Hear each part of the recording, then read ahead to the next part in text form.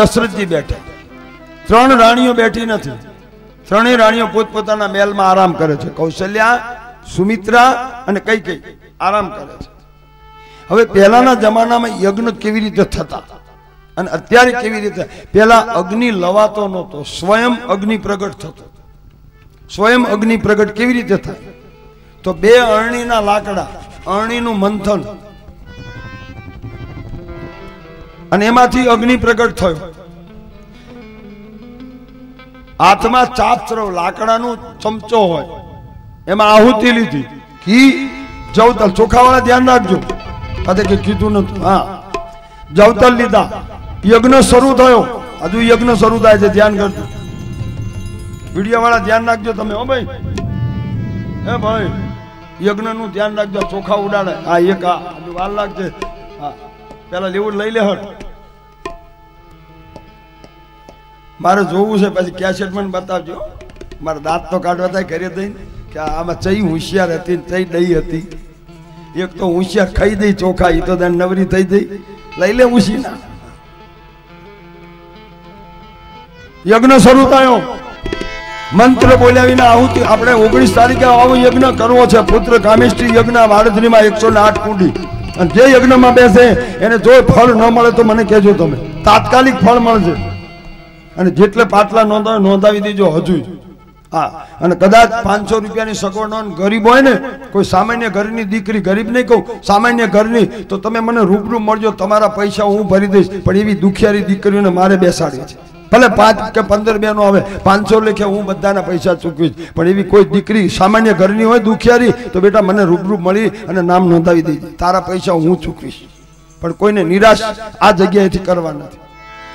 યજ્ઞની અંદર ઘી ઓમાયું ઓમ આદિત્યાય વિદ્મહે ધીમહિ તન્નો સૂર પ્રચોદયાત ઓમ નમઃ સ્વાહા સ્વાહા બોલવું પડશે. ઓમ સૂર્યાય નમઃ સ્વાહા.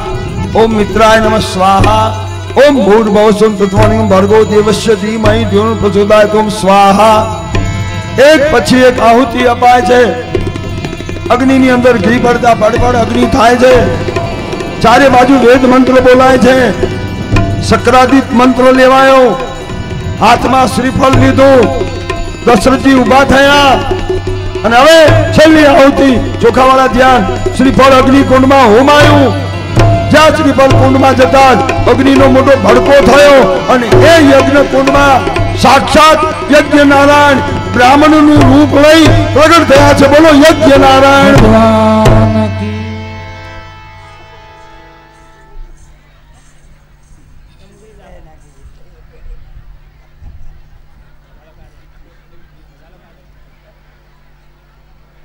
સાવાસ સાવાસ માળત્રીની મારી જોગ માયા વાહ.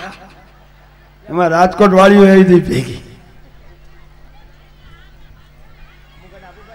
હવે લઈ લો બાજુવાળાના ઉશીના થોડા થોડા બબે દાણા.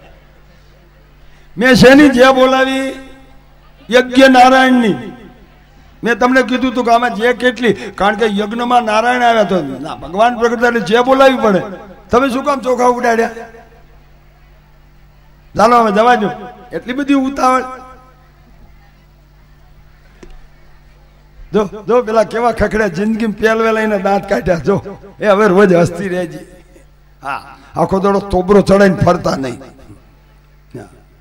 ચાલો, યજ્ઞ થશે ને અહીંયા પણ. શ્રીફળ ઓમાશે અને સાક્ષાત યજ્ઞ નારાયણ બ્રાહ્મણનું રૂપ લઈને પ્રગટ થાય. અને પછી યજ્ઞમાંથી ફળ મળે, ફળ. યજ્ઞ નારાયણે ફળ આપ્યું દશરથને. વશિષ્ઠ બાપજીને કે રાજા, લ્યો આ ફળ. તમારા દશરથજીને આપો. અને દશરથજીને કહેજો ત્રણેય રાણીઓને સરખા બાજે વહેંચી દે. હવે ફળ દશરથ રાજાએ લીધું. અને ત્રણ રાણીઓ છે. કોને પહેલું આપવાનું? કૌશલ્યાને. તો હવે આ ફળનો અડધો ભાગ કર્યો. અડધો ભાગ કૌશલ્યાને આપ્યો. કૌશલ્યાને કહ્યું કે આ યજ્ઞનું ફળ તમે ખાવ ભગવાન દીકરો આપશે. કૌશલ્યાજી આ ફળ ખાધું. પાછળ કેટલું રહ્યું? અડધું. હવે કેટલી રાણીઓ છે? બે. તો હવે એનું પણ આમ એ અડધું કર્યું. હવે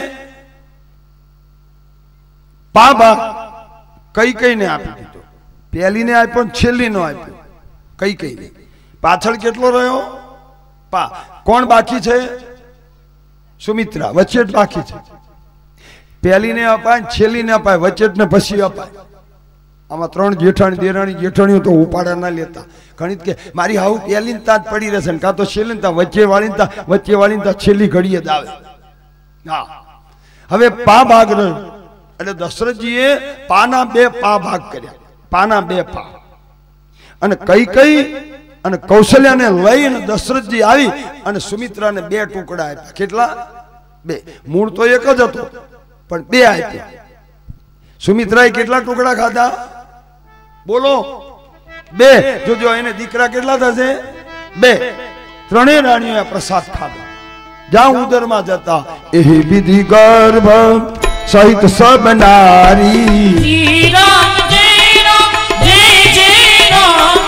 ત્રિભુવન વિધિ ભગત શ્રી રામ જય રામ જય જય આ પ્રસાદ ખાધો. ત્રણેય રાણીઓને દિવસો રહ્યા.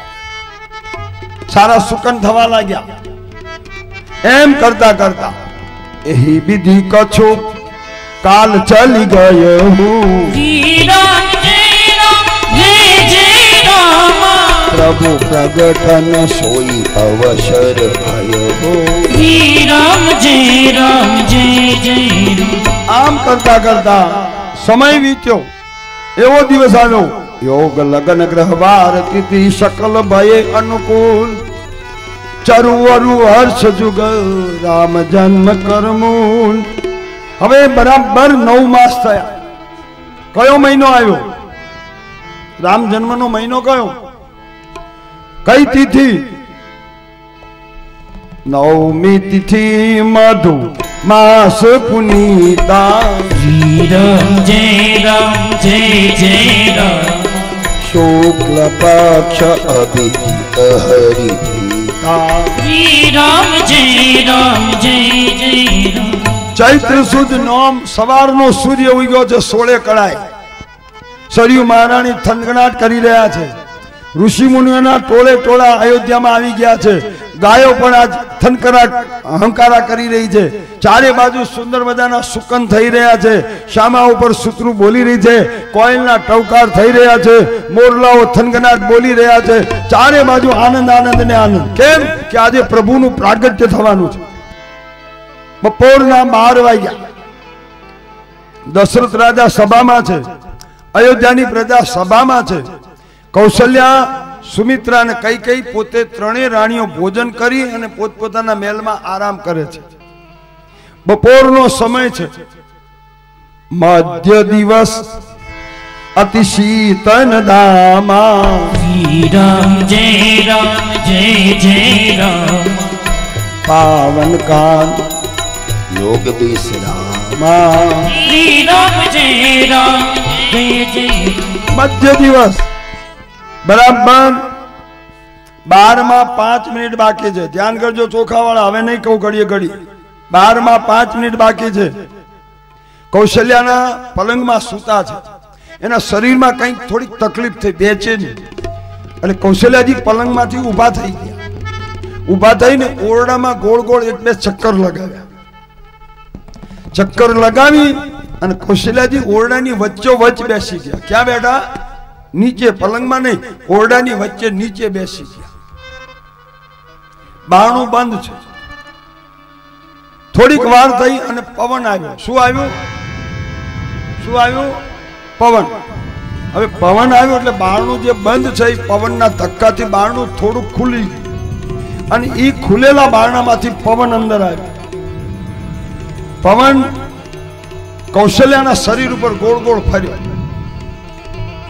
અને આમ ખૂણામાં ગયો. પવન દેખાય? ના, પણ આપણા શરીર ઉપર કંઈક ખબર પડે ને કે કંઈક ગયું. એમ પવન રૂપી બ્રહ્મ આવ્યા.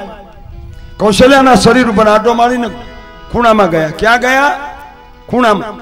કૌશલ્યાજી આમ જોયું તો ખૂણામાં અલૌકિક અજવાળું થયું. શું થયું? અલૌકિક અજવાળું અને એ અજવાળામાં. ચોખાવાળા ધ્યાન. કૌશલ્યાજી આંખ જોઈ અને બંધ કરી અને ખોલી